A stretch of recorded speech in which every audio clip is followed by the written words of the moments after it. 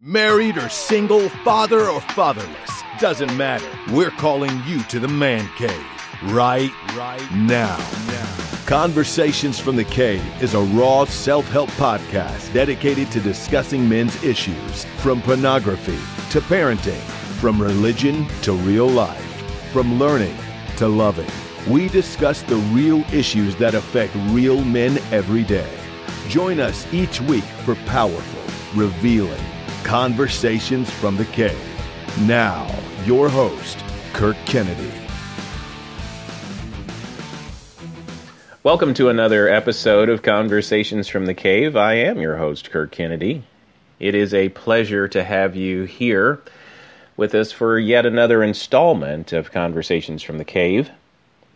Uh, this week we're going to be dealing with addiction, and for the next two weeks, actually, we will be dealing with the difficult discussion of how to cope with addictions. Addictions are those things that uh, oftentimes are thought to be under control, but they actually control us.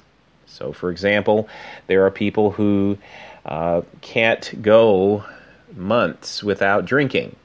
There are folks who can't go months without uh, using porn.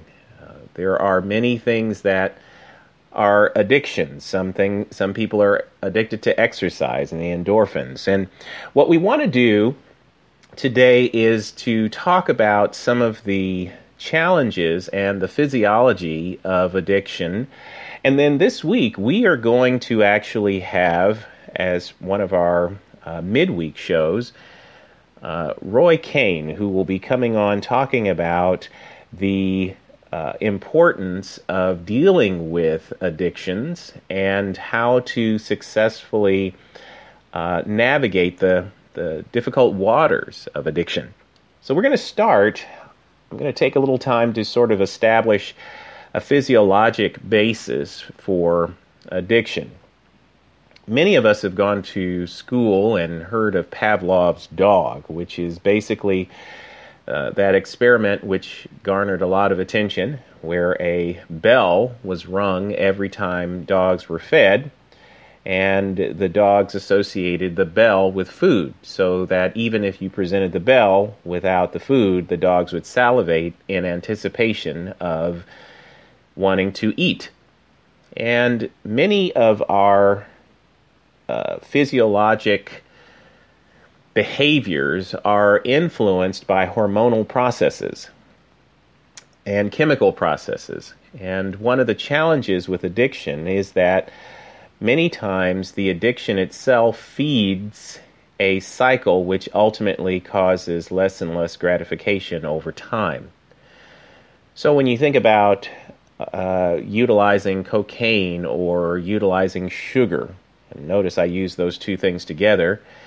When you think about adding those things to your life, they cause a very powerful neurological experience a sense of well being, a sense of euphoria, a sense of calm, a sense of excitement, a sense of energy. But it's short lived, and then subsequently you have to indulge that again to be at the same level. But what ends up happening in addiction is that it requires more and more and more of the stimulant to maintain the level of just normalcy, not just the high and euphoria, but the normalcy. Uh, and then after a while, even the normal type behavior, the normal type feelings, become much more difficult because the brain no longer produces certain types of neurotransmitters. This challenge is related also to habits which are formed. Habits are similar to, or can be similar to addictions because they are very powerful driving forces. When you have a habit of doing something, whether it be indulging in pornography or uh, indulging in uh, a cigarette, there are sometimes physical experiences that are happening, but also you're associating it with perhaps your social life or perhaps your lack of a social life. But it's usually associated with something, and that something becomes important in your life. The challenge when we're dealing with addictions is that many people don't realize that certain things are addictions. So, for example, there are many people who think alcoholism is merely uh, drinking a lot of alcohol. And that's not really the case. The amount of alcohol you drink isn't really important. It's what happens to your life after the consumption of alcohol that is infinitely much more important to determining whether or not you're an alcoholic. The other thing is the ability to cope without whatever the uh, addictive thing is. There's a mix of clean addictions and not so clean addictions. But what we need to do and what we need to define is why these addictions exist. Why is it that we indulge in these things? Why is it that we learn these behaviors and continue to perpetuate them, even if at some point they harm us? We'll answer that question when we come back. You're listening to the Conversations from the Cave Show with host Kirk Kennedy and the CFTC crew. You can search for the CFTC podcast on Alexa and Siri. CFTC is also available for download on iTunes, iHeartRadio, Spotify, Spreaker, TuneIn, Tumblr, Podcast Republic, and Google Play Music. Want your church or men's group to host the next CFTC Live Man Up Conference? Contact the crew on ProvoxMediaGroup.com forward slash man up. Now, back to the Man Cave with Kirk Kennedy and the CFTC crew. We're talking about addictions today on Conversations from the Cave. We mentioned in the last segment how there is a physiologic response. There are chemicals in the brain that are stimulated by these habits that we form. And after a while, these pathways in our brain become stronger and stronger and stronger, and they become almost reflexes. If you're practicing doing something positive, for example, if you're practicing hitting a baseball, if you practice every day and you're utilizing uh, good technique, and after a while you'll be able to hit a baseball fairly easily without thinking about it. If you drive a stick shift car and the first day you try to drive it, you're not going to be as good but as you develop the skill set and over time, it becomes a, an ingrained activity. The point I'm making is that things that we do often become much easier for us to do, they become part of our lives. The key, gentlemen, is to choose those things wisely that we choose to do repetitively. So if you repetitively watch porn, then that becomes a habit. If you repetitively um, for example, masturbate, uh, or if you perpetually go out and pay prostitutes, or if you perpetually drink to excess, these things become habits. And after a while, those habits are formed and they become almost knee jerk. So the question is how can you make wiser choices? Or if you've already gone down the pathway in this direction, what can you do about it? Can you just say, yep, I'm going to let it go, and today I'm going to white knuckle it, and I'm going to be free of this addiction? Well, there are a lot of people who make that choice, and there are some who are successful. I won't discount that there are many people with great resolve who can simply decide one day that they don't want to do something and then make a change and never return to that particular issue again. These people are few. You might be one of these people. But the overwhelming evidence suggests that in order to make a change, there has to be support for that change.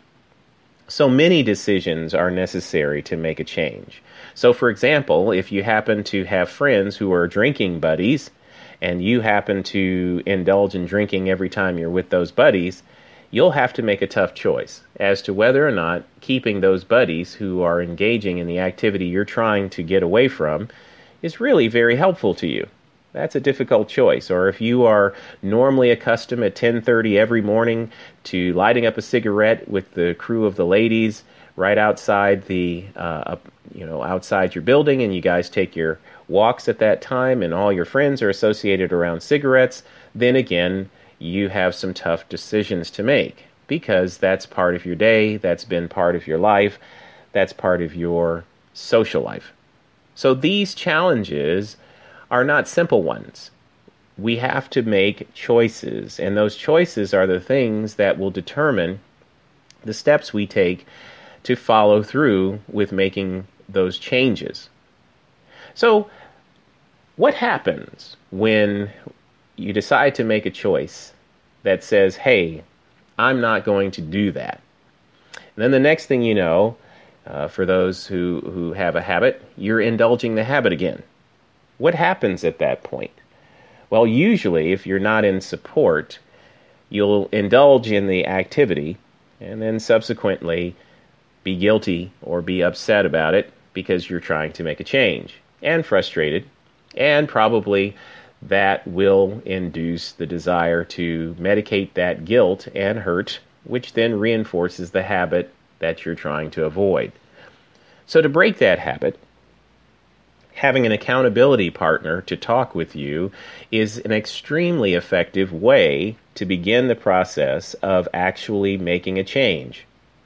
So, if you have decided, okay, today I'm not going to smoke that cigarette, today I'm not going to smoke that joint, today I'm not going to drink that bottle, if today is the day that you make that decision, find someone that you can confide in and tell them that you are wanting to make this change. It does two things. One, it lets you hear yourself making the decision, and it also gives someone else the opportunity to call you on the carpet when you are making decisions that counteract your choice.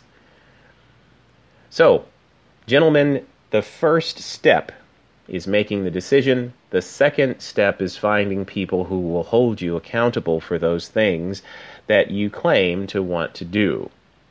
It may not be easy to go along this journey to making change and to do things in a much more upright and effective manner, but you've got to make the steps.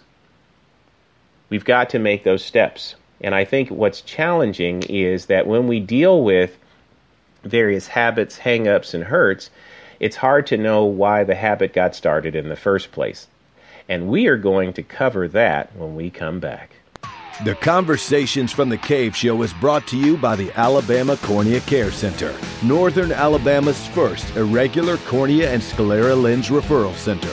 Dedicated to the management of complex irregular cornea cases, they provide hope and compassionate care for patients suffering from keratoconus, refractive surgery complications, and degenerative eye diseases.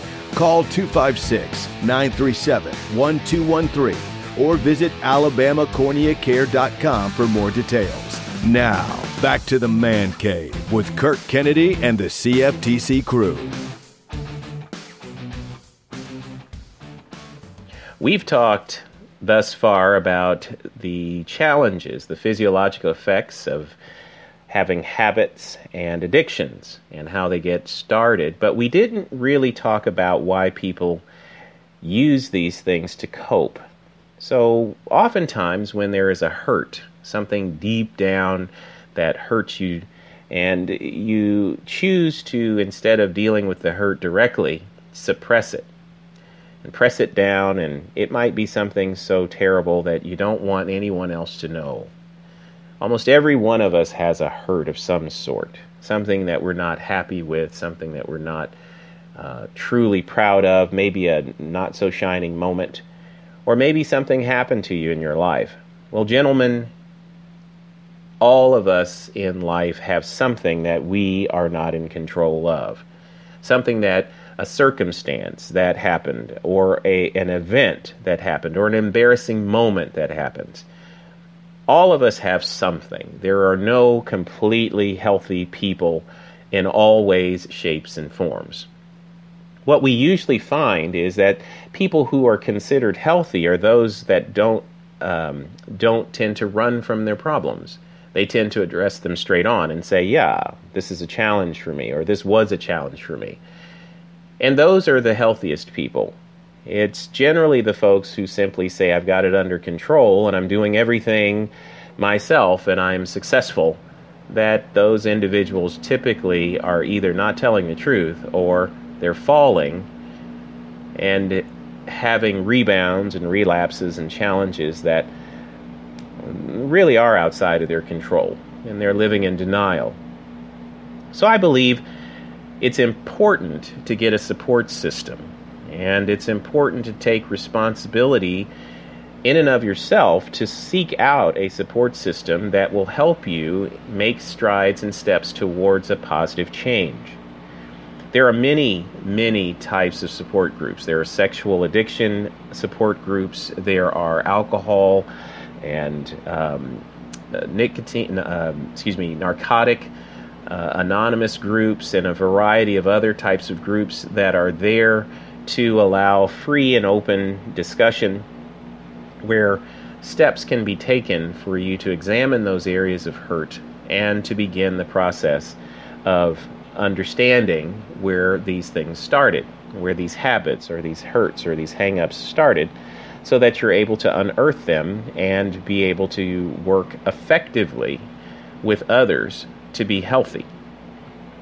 The also also one of the uh, truly exciting things is to think about the process of being able to help someone else who's gone through a challenge or who is being challenged by something that you have found the way out of. Doesn't mean that you won't have struggles with it, but it does mean that you are able to provide some guidance. There are many, many challenges that men face in particular. However, when men face challenges, oftentimes they don't face those challenges where they're able to communicate them to a group that's almost one of the most unnatural things for guys to do. They deal with problems a lot of times on their own and sometimes not successfully. So, speaking to guys, I want to encourage you to seek out good counsel. Seek out people who are making wise choices and who you admire so that you can begin to make this, the types of decisions or to mimic some of the decisions that those individuals have made so that your path will be one that is uh, redirected positively. I'm going to come back and talk about some specifics right after this break. The Conversations from the Cave show is sponsored by Optique Huntsville, signature looks for men with discriminating taste. Design your signature look with stylists from Optique Huntsville. For more information, call 256 886 7281. Now, back to the Man Cave with Kirk Kennedy and the CFTC crew. Thanks for sticking around. I want to talk specifically about uh, two challenging addictions and specifically things that I think might be very, very helpful. So, years ago, I had the opportunity of uh, working with an organization that dealt with alcohol and narcotics addiction. And I had the opportunity to uh, sit in on many groups and watch um, social workers and psychiatrists and psychologists work through the challenges that are associated with chemical addiction. There have also been new medications that have um, been developed to help with changing the response to uh, certain kinds of uh, chemical addictions. So, for example, in the case of alcohol, there are some who, the moment they imbibe alcohol, they begin to do things that they later regret. They will drink to blackout, and the result will be that their behavior is less than admirable. Those individuals who are dealing with alcoholism are more likely to engage in self destructive behavior primarily because uh, there are moments where the need for alcohol becomes great, not just the uh, not just the hurt that they're medicating, but the need for the actual chemical. And thankfully, there are new medications which are actually helping with decreasing the desire for alcohol, the imbibement of alcohol. And I think it's important to mention that these opportunities are available and to start seeking them out. Most programs will also have support groups which will have you talk about your problems so that you can face them square on, and then the result is that you have a sense of what is your trigger. And I think it's important to know that every habit, every hangup has a trigger. If yours is anxiety, if it's embarrassment, if it's stress at work, if it's uh, lack of uh, positive outcomes in decisions that you make. Whatever it is that is a trigger, those things are helped when you are involved in group discussions. I, I just strongly encourage this, even if you do take a medical route to becoming clean from a chemical addiction. The other thing that I, I really want to stress is the importance of having something greater than yourself that you turn to any challenge, any addiction, anything that is outside of our control, sometimes we have to submit that to something greater than ourselves to control it. And I believe that that is a higher power, and in my case, I believe that to be God. God is important in my decisions to making change in life. Now, if you are, we know that this broadcast goes all over the world, and there are many people who don't believe in God. And this isn't some sappy, uh, religious, you've got to do Jesus kind of thing. That's this is not what this is. But what I do believe is every man who recognizes that there is a moment that what's within you won't solve your problems. Something outside of you may have to solve your problems. I think that moment is the moment when real healing can take place. And I think there is a a moment where we have to have a gut check and say, you know, I think internally I've gone as far as I can go. I will have to submit this to something greater. And then allow that greater power to become a transformative power in your life. I do want to cover one more thing that I think each person who has dealt with addiction needs to understand. Addictions don't happen overnight, and they don't leave necessarily overnight. So, if you have had a challenge uh, with whatever, whether it be a clean addiction where nobody knows about it, or an addiction where everybody can see it, a food addiction, um, or you know, some kind of drug addiction like meth, where everybody knows you've got it, or alcoholism, and everybody knows you're a drunk, or you're hearing people tell you you're a drunk.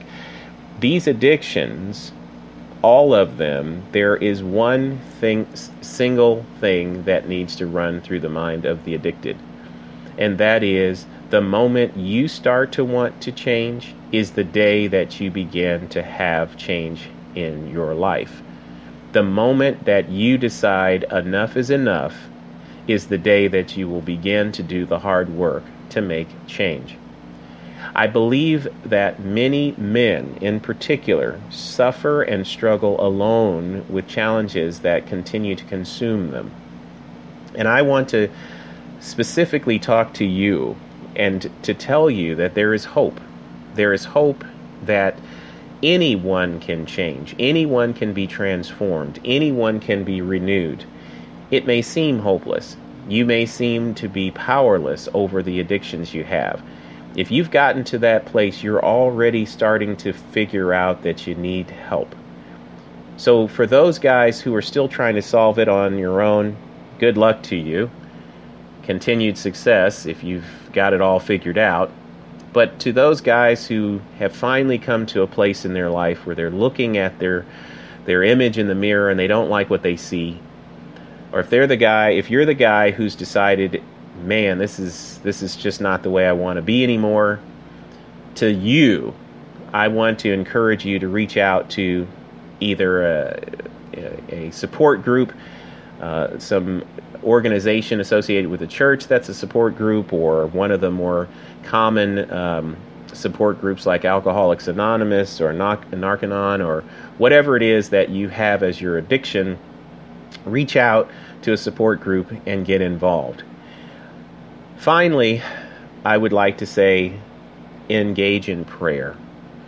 for those of you who are struggling with things that are outside your control, some things you simply have to turn over to prayer and do the work. So, prayer without work isn't going to get you that far, but prayer with work will get you.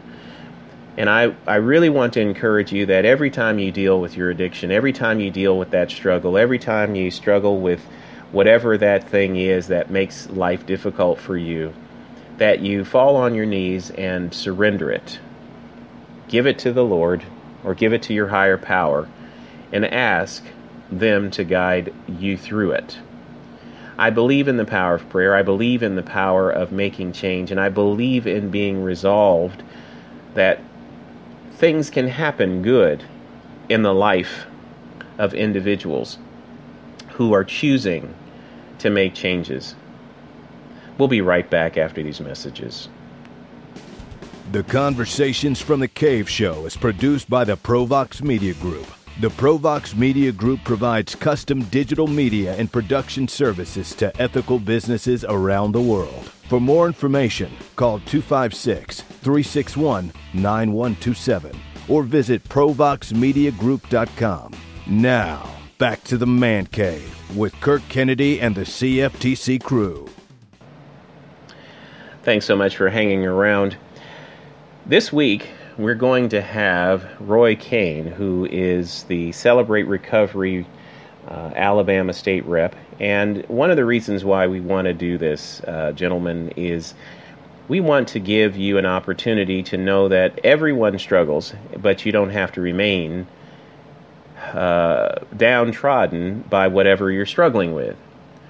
So we are choosing to take uh, several sessions on conversations from the cave, and I thought it important to establish this uh, series with a basis so that all of our future discussions um, will have some sort of uh, perspective.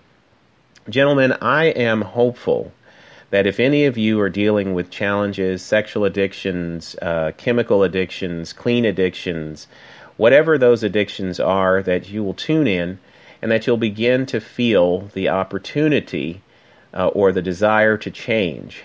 We know that hurting men hurt people.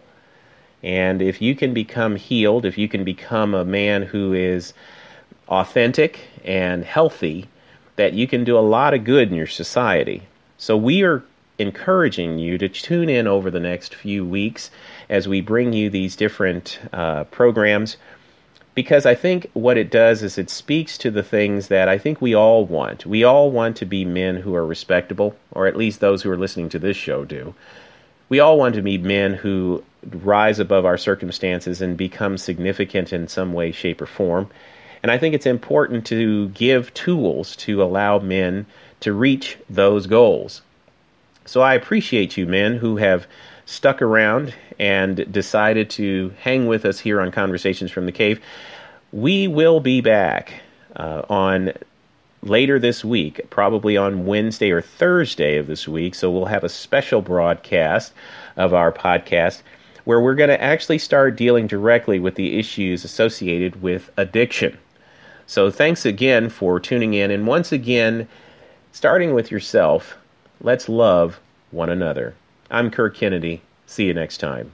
Conversations from the Cave is brought to you by the Alabama Cornea Care Center, a copywritten production of the Provox Media Group, creators of positive, inspirational media for businesses and nonprofit organizations around the world. For more information, visit the Provox Media Group at provoxmediagroup.com or call 256 886 0405. The views expressed on this program are the personal beliefs of the panelists and do not necessarily represent the beliefs of the Provox Media Group or its sponsors.